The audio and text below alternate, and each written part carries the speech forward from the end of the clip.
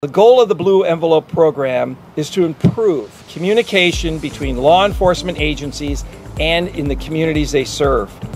In a world where understanding and empathy uh, are paramount, the Blue Envelope program is a beacon of hope.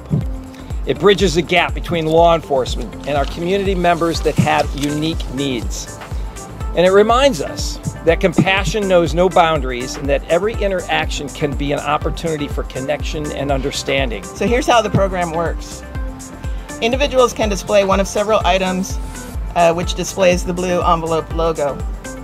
Due to the wide variety of interactions that law enforcement officers may have with individuals with a condition or disability, it's important to have an assortment of products available to individuals who want to display the logo. These items may be a physical blue envelope, they could be a wristband, lanyard, stickers, pins, or other items that are available for free through local law enforcement agencies and our community partners, including participating county and San Diego departments.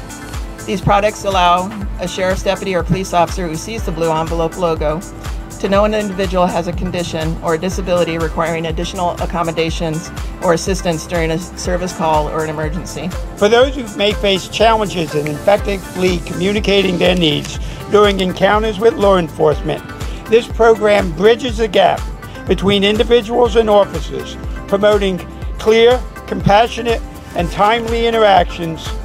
It empowers individuals to express their unique needs and enables law enforcement to respond with appropriate understanding. This issue is very personal to me, especially as a parent.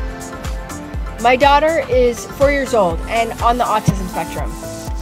Every parent worries about their children, and that will not go away when my child or your child gets older, especially when they start driving. So, to know that our sheriff deputies, first responders, and other partners are going to be trained on the best practices for interacting with people like my daughter is an important step toward creating a safer, more inclusive San Diego County.